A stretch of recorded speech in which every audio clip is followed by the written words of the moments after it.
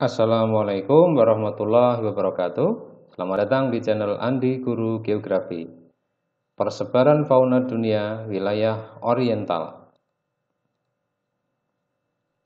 Alfred Russel Wallace membagi sebaran fauna dunia dalam enam wilayah persebaran, antara lain wilayah Australis, wilayah Ethiopian, wilayah Neartik, wilayah neotropik, wilayah oriental, dan wilayah paleartik.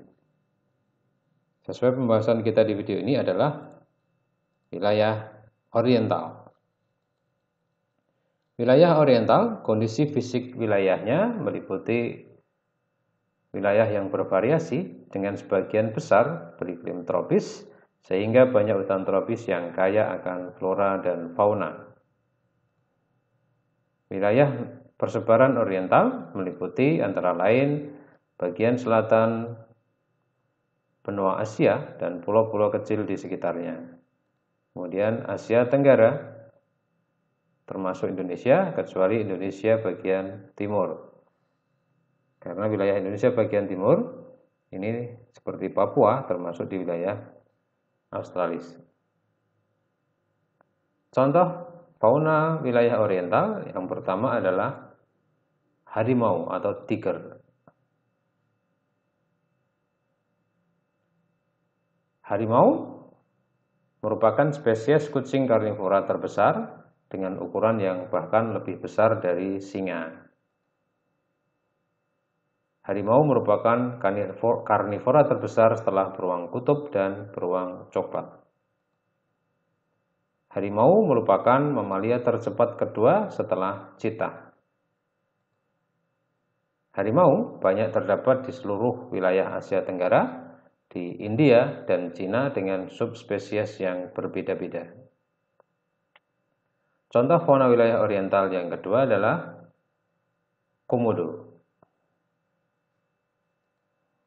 Komodo adalah kadal terbesar di dunia dengan panjang dapat mencapai 2 hingga 3 meter dan berat mencapai 100 kg. Komodo merupakan pemangsa puncak di habitatnya.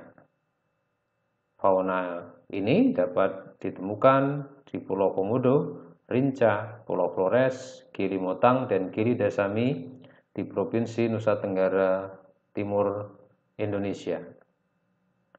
Fauna wilayah oriental yang ketiga contohnya adalah babi rusa. Babi rusa merupakan babi liar dengan habitatnya terdapat di hutan-hutan tropis. Makanan dari babi rusa ini adalah buah-buahan dan tumbuh-tumbuhan. Babi rusa terdapat di Pulau Sulawesi, Pulau Togian, Malinge, Sula, Buru, dan pulau-pulau kecil di Kepulauan Maluku yang lain. Berikutnya adalah contoh fauna wilayah oriental yang keempat, yaitu anoa. Anoa adalah mamalia jenis kerbo yang berukuran kecil, sehingga sering disebut dengan kerbo kerdil. Hewan ini bersifat endemik di daratan Pulau Sulawesi dan Pulau Buton. Anoa merupakan satwa liar yang agresif dan sulit dijinakkan untuk dijadikan hewan ternak. Ada dua jenis anoa, yang pertama adalah anoa dataran rendah dan anoa pegunungan. Contoh fauna wilayah oriental yang kelima adalah bekantan atau proboscis monkey.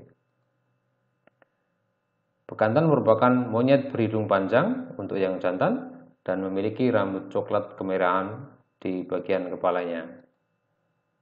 Kantan merupakan hewan endemik Kalimantan yang tersebar di hutan bakau, hutan rawa, dan hutan pantai. Bekantan merupakan identitas dari Provinsi Kalimantan Selatan. Bekantan saat ini statusnya terancam punah karena keterbatasan habitat, hilangnya hutan, dan penangkapan liar. Contoh fauna yang keenam adalah orang hutan. Orang hutan merupakan kera besar dengan lengan panjang dan bulu kemerahan. Tinggi orang hutan antara 1,25 hingga 1,5 meter dengan bobot antara 50 hingga 90 kg. Ada dua jenis spesies orang hutan. Yang pertama adalah orang hutan Sumatera atau Pongo abeli dan orang hutan Kalimantan atau Borneo Pongo pygmaeus. Baik, itu adalah contoh-contoh fauna di wilayah persebaran oriental. Sekian, terima kasih atas perhatiannya. Wassalamualaikum warahmatullahi wabarakatuh.